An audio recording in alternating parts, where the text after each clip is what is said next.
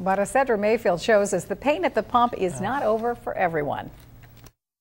Fuel prices affect all businesses that have anything to do with transportation. Dan Shroyer owns Shroyer's Towing in Lansing and says high diesel prices are taking a toll on his company's bottom line. It has a great impact on our business. We spend roughly about $6,500 a week on fuel. With diesel prices more than $4 a gallon, Shroyer says his company isn't getting much bang for its buck. This tow truck needs 200 gallons of diesel and travels just five miles on each gallon. We have to wait to get the return on that money. It takes sometimes 30 to 90 days before we recoup that money. Fuel experts say it's an issue of supply and demand. Diesel demand was up last month and gasoline demand was down. John Griffin is the executive director of the Associated Petroleum Industries of Michigan. He says gas prices took a dive after several offline refineries in the Midwest resumed operation. But diesel was never a part of that equation. And Griffin says that's why it remains higher than gas. For many years, diesel, we had too much diesel coming out of that barrel of oil, and so it